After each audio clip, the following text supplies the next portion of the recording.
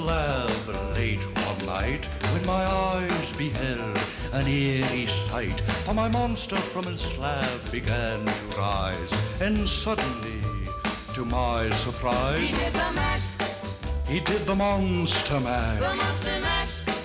It was a graveyard smash. He did the mash, It caught on in a flash. he did the mash. He did the monster mash from my laboratory in the castle east to the master bedroom where the vampires feast. The ghouls all came from their humble abodes to get a jolt from my electrode. They did the mash, They did the monster mash. the monster mash. It was a graveyard smash. They smash. did the mash,